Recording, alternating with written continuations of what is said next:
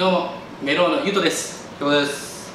えっ、とクラメロの、えー、雰囲気って言ったらもうほんまにめっちゃアットホームであこの冒頭作ってるんですけどこんな感じで写真があっていっぱい写真撮ってるんですけど。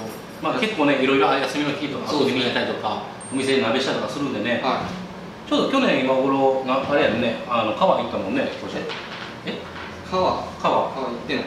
ああ行ってない。行ってない。ああおらんかったっけ？あ全然行ってないきょうちゃんはどれぐらいからおったんやったっけなあこのこんな感じで。あの半年前がこんな感じだったからああじゃあ鍋ぐらい。せや。せや。そうそうそう。鍋ぐらいか。そうあー。まあこんなぐらいのね、うん。こんな感じのお店なんでまああのクラメロ入れしてもらったら1ヶ月超えたぐらいくらいであのオーダーのスーツ作らせてもらうんでよかったら。ちゃいいスーツそうやな。ですよいいいいスーツ結構いいスーツやなさっきはちょこちょこ敬語好きやったんがいきなりタメ口やったの病院撮影中なんでちょっとまだ何を言ってんの？何を言ってんの？なんでしょうなってくださいおかしいおかしいってなんでなんですかちょちょちょちょちょちょ一回一回一回一回からいけるタメ口やんかおかしいですねタメ口先輩あ後後にします先輩後にしますえ後にしますえ